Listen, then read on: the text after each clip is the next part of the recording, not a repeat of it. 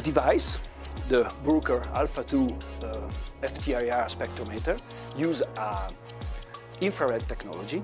We have a array that impact the base, is reflected inside the machine, give the data to the hardware, that is send the numbers to our multivariate quant model.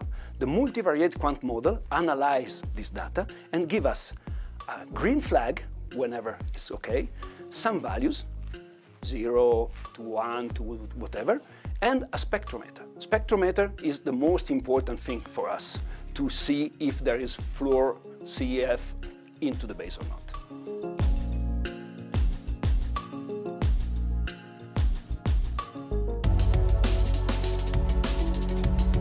Each discipline has a different procedure. Specifically in Alpine, we um, perform the test at the finish area. From when we take the skis from the athlete until the skis go out of the tent takes appro approximately two minutes.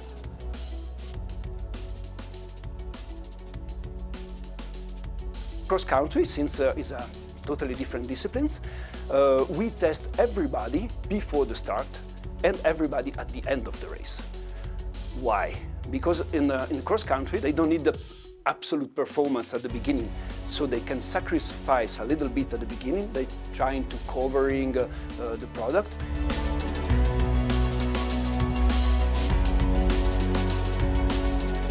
It's not necessary to test both skis because the skis there, of course, they're prepared in the same way. And uh, uh, to avoid any bottleneck and to keep the flow for the testing, we get the information on one skis and this way enough. Of course, it's a big topic. Everybody talk about, they're concerned, they're afraid. So we offer this kind of uh, extra service for them the days before, before the training run, before the race on the technical side.